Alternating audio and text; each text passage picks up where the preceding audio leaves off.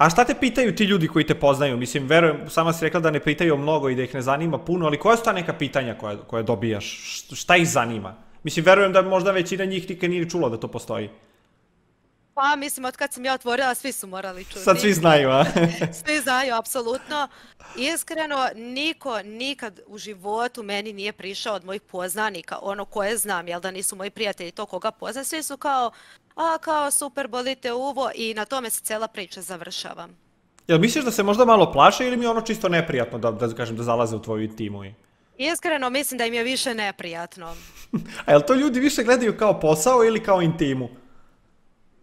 Pa evo ja gledam kao posao, ali mislim da većina ljudi gleda to kao intim. Zbog čega je to? To zbog nekog našeg vaspitanja, da kaže nešto smo poneli od kuće ili misliš da ljudi to i ne mogu da shvate da danas neko može ozbiljno da se bavi time, da je to više kao neki egzipcionizam?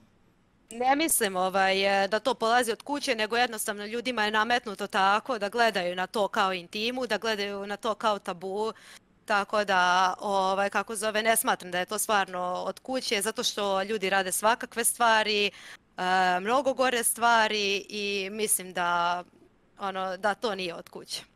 Šta je, nešto, šta je nešto što ti možda vidiš na internetu da ljudi rade, a što ono kao ja, ja ovo nikad ne bi u životu radila, kao vidio ovi što se blamiraju i nešto slično. Je li ima nešto ono da se videla? Pa nema ništa ono, u vezi blamiranja i to definitivno nisam nikad ni pomisao za neki klip. Ja kao, na primjer, listan TikTok kao ja vidi goje što se blamira. Pusti čovjeka, nek snima što on hoće i sa čim se on osjeća prijatno, mislim, ono. Ali nisam zaista, nikad mi to nije palo onako na pamet da gledam nečije klipove kao ja vidi koji se blamiraju i to.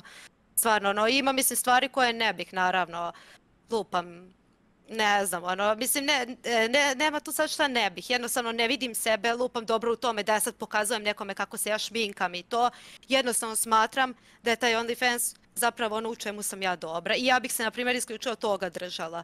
Ima neko ko je za neke druge stvari, tako da to je sve, mislim, individualno. Mhm.